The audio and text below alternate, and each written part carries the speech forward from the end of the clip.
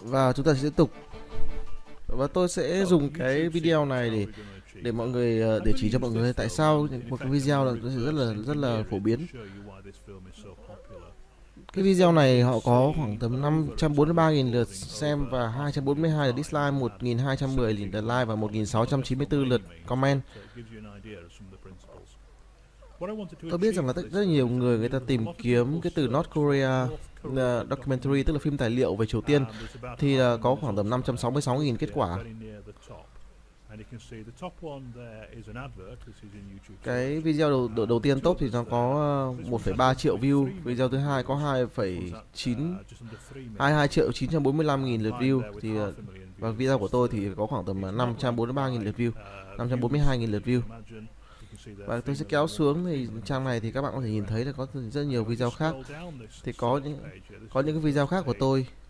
Mọi người thấy không ạ? Có rất là nhiều video của tôi ở đây.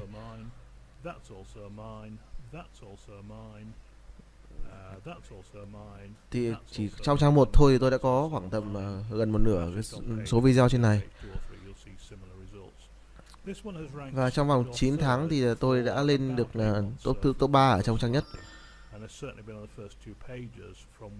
Thì tôi sẽ sẽ sẽ chỉ cho mọi người là vì sao mà cái video của tôi có thể lên trên top này được như này. Và tôi sẽ chỉ cho bạn ở video sau. put that right at the top of North Korea and North Korea documentaries. In actual fact, it's a whole load of things, and I'll show you them each separately.